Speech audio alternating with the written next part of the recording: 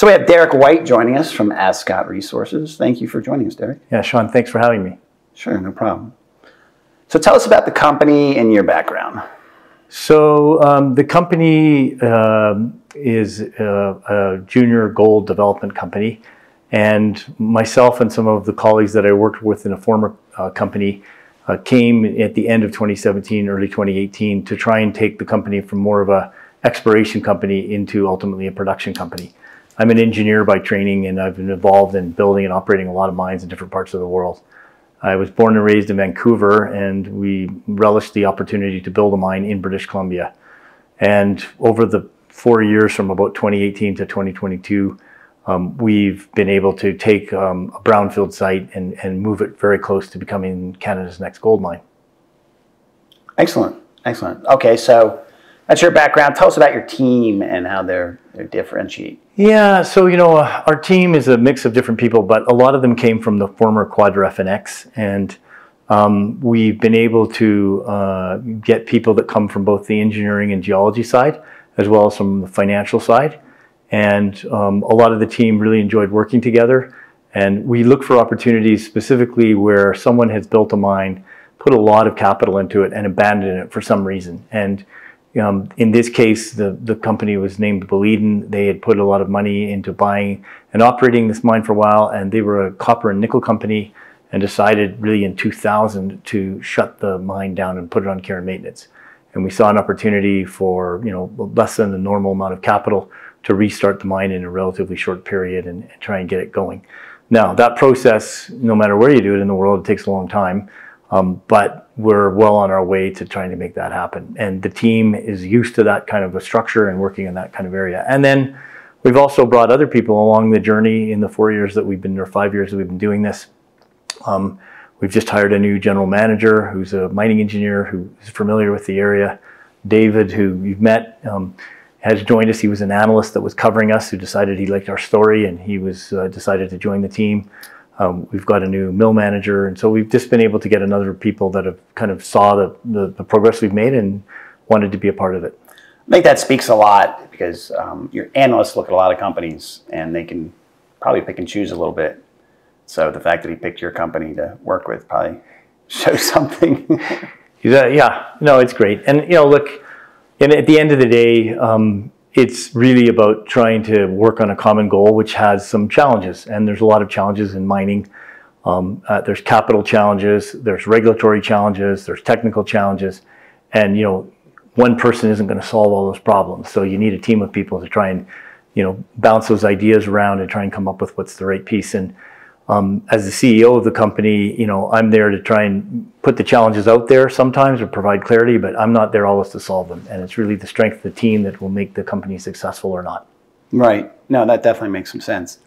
So, in terms of projects, how many do you have, and how many of those were acquired? Because it sounds like you were doing some acquisitions. So, in this in this uh, situation, um, Ascot as a whole has uh, three projects, but really one flagship project, which is the Ascot Premier Gold Mine. And this mine was a historical mine that was run actually by the Guggenheim family out of New York, and it was put in place in 1921. And it was the largest gold mine in North America on, and, and in the British Empire for quite a long period of time. And um, that project basically was a single mine at the time. And what we've done is taken a new mill infrastructure that was put in place, I mean, relatively new in the 1990s, and refurbished that and we had two mines that we acquired from Boliden, and we added another two, one called the Silver Coin Mine and the other one called the uh, Red Mountain Mine. And this is really a hub and spoke model. In this part of the world, which is on the border of Alaska and British Columbia, it's very mountainous. There's a lot of glaciers. Infrastructure costs are really expensive. And so we're trying to use this centralized processing kind of infrastructure to uh, run multiple mine feeds too. Interesting. Excellent. So you talked about some of the strengths. It sounds like a great team uh, great opportunities, good minds. Uh, talk about some of the weaknesses of the company and how you're addressing them. Well, you know, I think a couple big things. You know, one of the things as a small uh, company is just access to capital. And um, there's a whole pile of different reasons, and you know, commodity prices go up and down. But when you're building a mine, you usually everything goes one way, and that's more expensive. and over the last, you know, three years, it's been a pretty tough time because we've gone through COVID, we've had really big problems in the supply chain where you know things are just taking longer, and we kind of have a general mentality. And I'm not saying everybody, but there is a a kind of I don't want to work anymore. I'm either retiring or I'm laying low or I just don't like what I'm doing. So just attracting just general kind of people to do things has been really challenging. And so on top of that, um, we uh, had a weather event uh, that happened in uh, November of 2021 when we just kind of started the construction. And in the West Coast, both Seattle and Vancouver, we had atmospheric rain, like unbelievable amounts of rain. And during that period, up in this part of the world, we got atmospheric snow. So we had 16 feet of snow in less than 24 hours. Wow. And that meant that we had to deal with a lot of snow. And on top of that, we were ordering what's called a clarifier and a thickener, which are key parts of our equipment.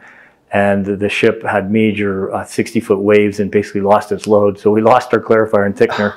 so we had to re engineer that. So in a project in construction, one of the things that's really important is keeping your schedule. And if you delay your schedule, it just costs you more money. And unfortunately, some things you can't just control, but it's the indirect costs that really drive the overall project costs. And the combination of inflation and the timing and the weather, that really was a challenge for us because we have to overcome increasingly higher operating or capital costs to basically get the mine in, into production. And we've had some delays.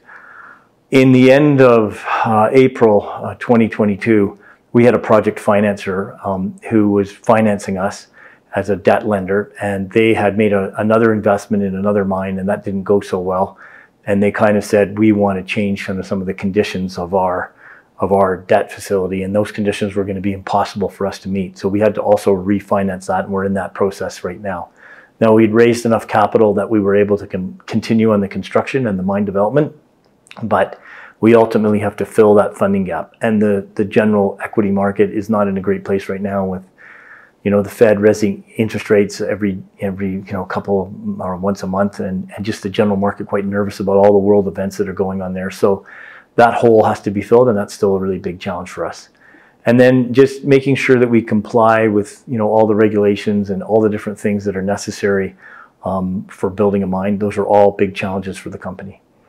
Would you say Canada is more how much compared to other countries? How difficult it is to the regulations and things like that? So, um, each in, like for example, compared to the U.S. and Canada, each province and each state kind of has their own different requirements. And um, British Columbia, um, especially because it borders Alaska, um, is very concerned about number one First Nations, and that's you know a legitimate concern. And in British Columbia, the First Nations generally do not have settled treaties. So there's still a lot of land claims that are going on. And secondly, because it's a mountainous area and you get a lot of snowfall, they're also very concerned about the impact of water. So, it, you know, will water be polluted? And that water can also go to, into Alaska. So there's just different things in northern British Columbia that you have to be very, very careful with. Um, and you know, every every jurisdiction in the world has different challenges, and just as a whole, right across the world, you know, mining is considered, quote, a dirty business, that you have a lot of problems. And there's a lot of political views about, which are not really scientifically based about, you know, how bad mining is going to be. But that, and British Columbia is no different in that sense. And, you know, just trying to make sure you work well with the regulators and making sure you meet the requirements that are necessary and the First Nations requirements and just generally society as a whole's requirements to protect the environment and to, and, and as a good mining company, we want to do that. I think the balance is trying to do scientifically what's right versus what's a perception and just deciding that it's all bad. I mean, not all the things that mining companies do are bad. In fact, some mining companies do more for the environment than a lot of other companies or a lot of other people in this world. So you always have to try and strike that balance. Interesting. I mean, yeah, if it weren't for that resource, a lot of these people wouldn't be having phones, right? You know. And so yeah, I mean, look, you know, I mean, it, what's tricky is if I said to a lot of people that were, you know, very anti-mining, well, would you not like to have a cell phone, no computer, no fridge, no heating, yeah. uh, no car? You know, and they it's just, not a luxury item to have gold yeah, and, and, and, and, and so it's just you know it's tricky because at the end of the day you might be saying well I, you know I could live without those things but the majority of society wouldn't live without those things. Correct, and yeah. they have to come from somewhere, whether you're mining them in your own country or you're mining them in some third world country where there is no environmental regulation. So again, it's having the right balance. And as general in society, we need these things. You know, I, I think if I took everybody, like I have three children, if I took their cell phones away and said you can't have a cell phone anymore, there would be a revolt. Yeah. So you know, say, Dad, go mining. Yeah. Interesting. Well, it sounds like you've weathered the storm pretty well in a lot of ways. And you're, um, how many years did you say you guys been in business? Well, for the for the Ascot project, the, the, the company's been around probably since the 1990s, but the Yeah. team that's involved right now has really been involved since 2018. So, you know, we've been working on on we have three projects outside. We have two other ones outside the gold mine. We have a large copper deposit that's owned in Washington State, and then we have a gravel mine that is not it's shut down right now that sits on in the BC coast. But the main focus has been on restarting the Premier Gold Mine. Interesting. All right, let's shift gears and talk about your shareholder mix and what's institutional, private, public, and Sure. So, um, as a junior exploration company, when we joined the company, the majority of the shareholders were retail shareholders. Shareholders, and there was a large group based out of Alberta um, who had come into the company a long time ago. And these guys had made a lot of money, generally in oil and gas, and liked the idea of investing in a gold uh, exploration company. Um, as you know, as the company's had bigger capital needs, we've started to diversify that shareholder base, and so we've had more institutional shareholders. Um, we have, you know, probably five or six institutional shareholders, mostly based in the U.S. and the U.K., that make up the majority of, of, of the shareholders. And we had, we have one strategic shareholder, which was Yamana, who's now just been bought out by Goldfields out of South Africa, um, and that transaction hasn't quite completed. But you know, so the mix of the retail um, to the institutional has shifted more to the institutional, and that's pretty normal for companies like us as they go closer towards production. And generally, it's because the, the, the equity raises or the capital that's required to build these things is just larger. It's beyond the capacity of the retail shareholder. interesting. So then, how much, what percentage you, is the team own and people inside the company? So um, the team uh, basically probably has now nowadays probably less than one percent, and um, that includes some of the directors. It's probably a little bit over one percent, and um, the you know the team came into the company when it already was pretty established, so that was kind of normal. But the, the, most of the senior team has bought stock and you know, at least, well, many of us equal to more than one year salary of of money that's been put in. So the team, the team has a fair bit at risk in terms of trying to make this work, and also, you know, the team compared to bigger jobs or bigger companies, we probably aren't compensated in the same way that we're normally. We want this to work, and we're trying really hard and working really hard to make that happen. So. I don't think there's any lack of motivation or skin in the game, you know, as, as you would say, from the team who, who've been working on this really since 2018.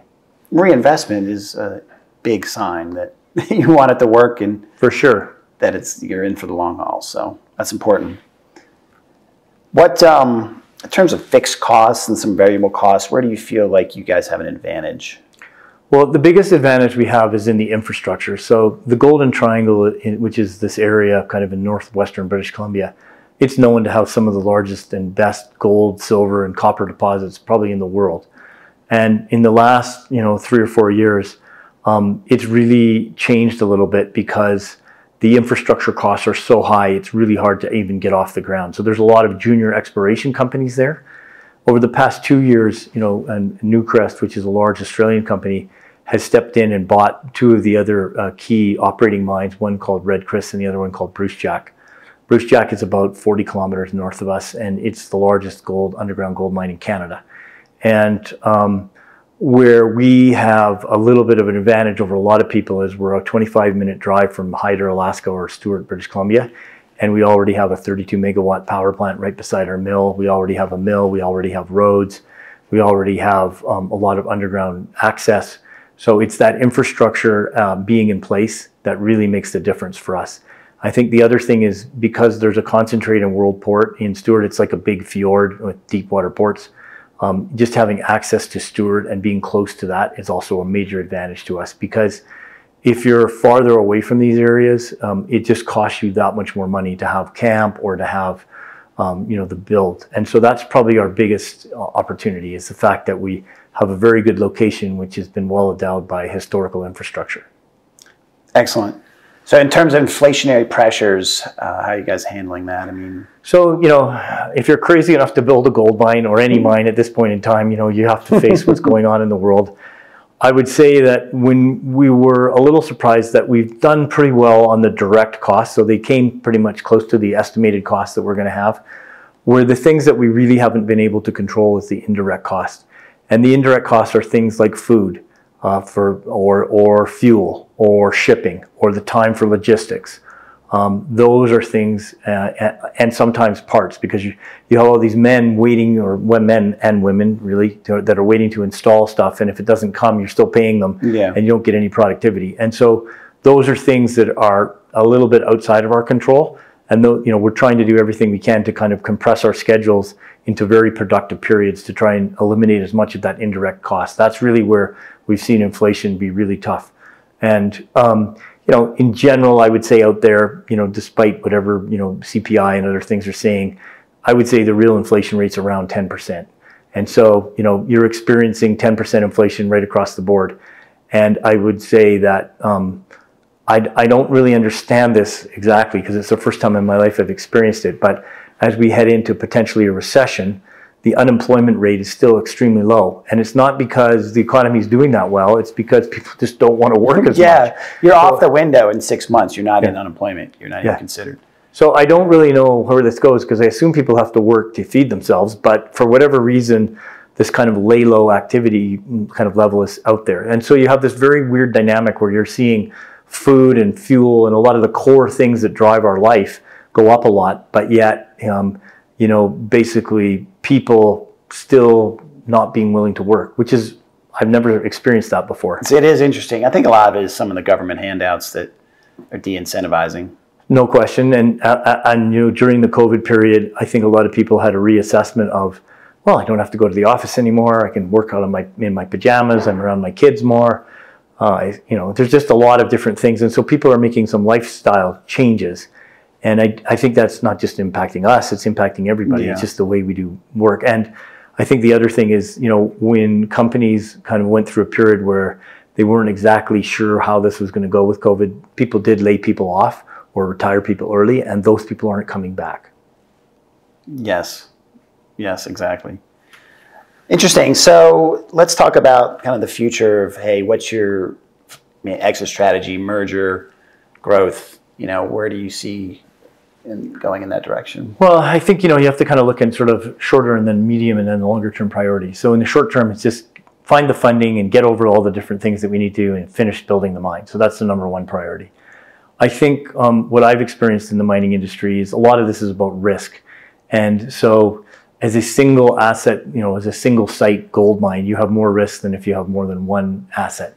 And surprisingly, in our industry, in the gold part of it, anyways, there hasn't been as much merger activity as I would have expected in these times because some of the bigger companies have more money than they did in the past, and the need for diversification is is important. So you have to mm, kind of make the right deal. But I would think that you know once the operation is is performing well, you know, looking for opportunities to diversify through acquisition or combinations or whatever, I think is a good thing. As long as they're smart deals and they make sense for the larger shareholder groups, I think you basically end up with a better product and you know less risk because you've got more um, opportunities to create cash flow.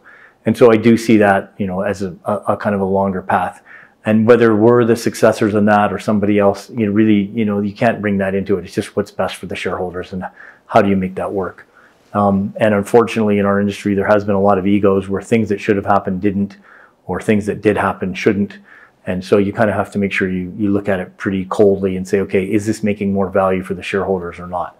And I think ultimately that is. But we also have a lot of exploration opportunity in this area. We have a lot of ability to grow once we get into production and, and start generating our own cash flow. And I think that's one of the first places we'll be looking and then trying to see how do we diversify our risk portfolio uh, to make sure that you know we have a, a better kind of value proposition for people because in a single mine things can go wrong and you don't really have that you just have that single basket you have that one egg in that one basket and you really would like to have two at least to start with Right. That makes sense.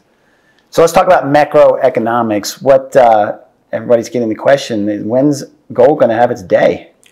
So I think um, you know gold is definitely an opportunity as an inflation hedge. I think the big issue is though is the gold market is generally sl- a small market compared to the U.S. dollar market. And when you have the Ukraine situation, you have the Chinese situation, you have energy prices really going up, you have this weird dynamic, as I talked about earlier, about people laying low and not working. you know, you have some really big macro events that do impact the world. And what I think happens, especially in, when the Fed uh, in, increases the interest rate and ultimately you can get a better yield on Treasury, that is a highly liquid market. And that unfortunately takes a little bit of the shine off gold because it's a much bigger market. So a lot of bigger investors are like, well, you know, yeah, I'm kind of interested in gold, but the, if I can make a 3%, you know, or 4% yield on a treasury bond and a, and gold is just a non-bearing interest asset, you know, gold will, will struggle a little bit. And so, you know, I think everybody's waiting for the big run in gold. And I would say that that's still possible. But I think, you know, there's got to be a little more certainty on what's going to happen with the US dollar because the problem for the United States is as the interest rate goes up with the amount of debt they have is, you know, that's a big issue because you, the taxpayer in the United States will end up paying a lot of money just to pay interest down on the debt. And the other issue is that if the US dollar becomes too strong, then it just makes any kind of exports really difficult. And so I do think that will counterbalance itself. And I, you know, if I had a crystal ball and I could tell you exactly what I was doing, probably have a new job to do. But, you know, I think that um, that will eventually happen. The U.S. dollar won't just keep going up forever, and the Fed won't keep raising interest rates forever. They can't. They're getting, they can do a few more, but we'll, we'll just have to see where it goes.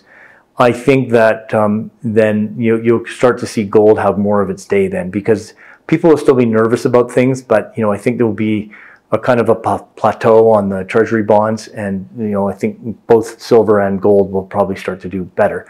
I think other currencies, you know, if gold is cheaper and you know they probably privately are doing this, are probably going, gee, I don't know if I just want to back the US dollar. I'm worried, you know, about the general economy.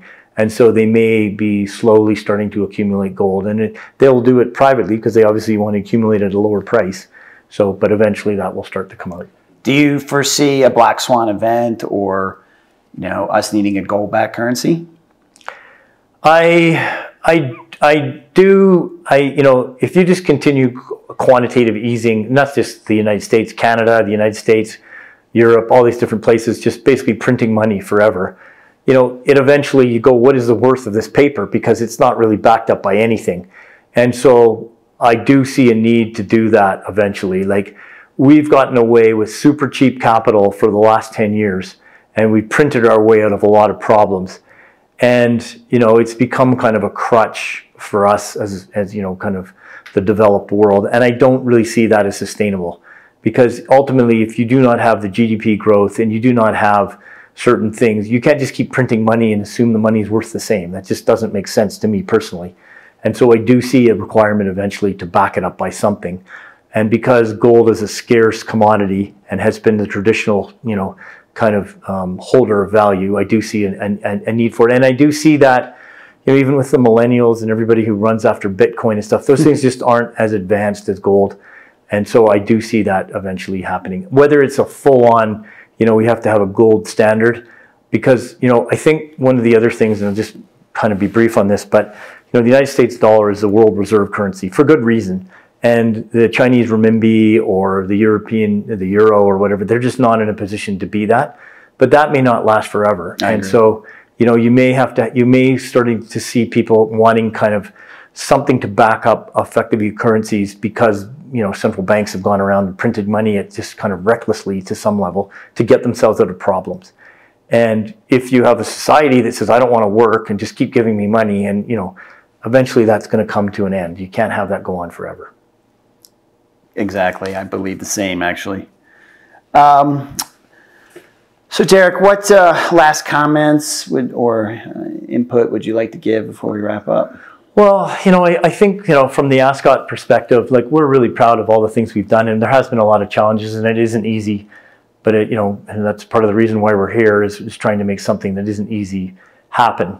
Um, you know, I think that despite all the challenges that we have, I'm, I'm confident that we're still going to get this done. And when you look at a lot of the developers who are coming into new gold mines, they have much bigger capital numbers. We're, you know, kind of already half pregnant. Like we're we're hmm. close to the finish line. We have a year's kind of work to complete, and you know, I'm I'm confident that we're going to get there. And I think for investors, when you do move from a fairly low stock price into a fairly small capital build, relatively speaking, to get to the that's a good value opportunity. So I would hope that people who watch this really do have a look at it and say, look, maybe it's worth putting a little bit of my portfolio into something like that because I've got a reasonable upside with you know, you know, assuming that we can get the financing necessary, you know, not too much risk compared to a, like a greenfield site where you've got a much bigger capital ticket to write in a pretty tough uh, economic time. Okay, well, excellent. Thank you for your time, Derek. You're welcome. Thanks, Sean, for having me. You're welcome.